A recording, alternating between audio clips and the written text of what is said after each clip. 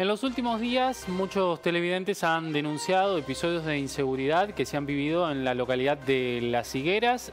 La mayoría de ellos han sido episodios de asaltos que se han dado en algunos sectores de la vía pública de la localidad y en algunos casos incluso se ha hablado de episodios violentos. El que le vamos a contar a continuación es un caso que se dio en la plaza central de Las Higueras. Fue un intento de robo de una motocicleta a un joven que estaba allí en la localidad y acusan a otros tres jóvenes que son además de la localidad de Las Higueras de intentar perpetrar ese asalto.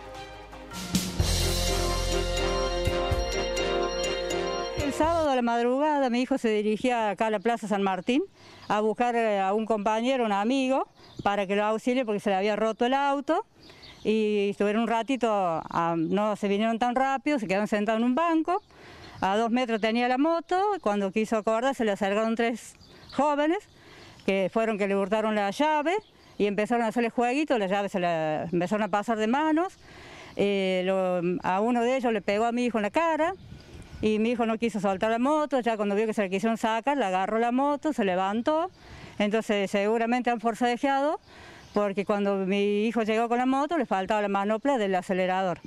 Y yo a la tarde me dirijo con mi hijo menor, le digo, ayúdame, vamos a ver si encontramos que sea la llave o algo, a pesar de la denuncia.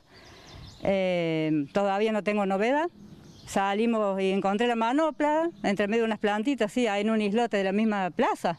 Y después me dirigí a la policía diciéndole que yo sí había encontrado y tengo testigo porque cuando mi hijo fue asaltado, que quisieron usurpar, hurtarle la moto, él estaba con otro chico que sería este testigo. Así que también hubo testigo que él no era, que no estaba solo mi hijo cuando le sacaron la moto. Señora, ¿estas personas actuaron a cara descubierta? A cara descubierta, sí, porque son conocidos. Inclusive eran amigos de mi otro hijo que venían a casa. ¿Serían personas del pueblo? Son personas de acá de las higueras, sí. Son todos de acá.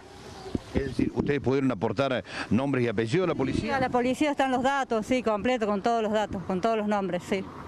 Están, están. O sea que ya sabemos quiénes son y, y aparte que mi hijo no es la primera vez que sale a la calle, ya lo vienen amenazando. Y mi hijo no quiere pelear, porque vamos a decir así, porque él tiene, teme que lo puedan echar, o sea, meter preso a él también, porque mi hijo ya es mayor también.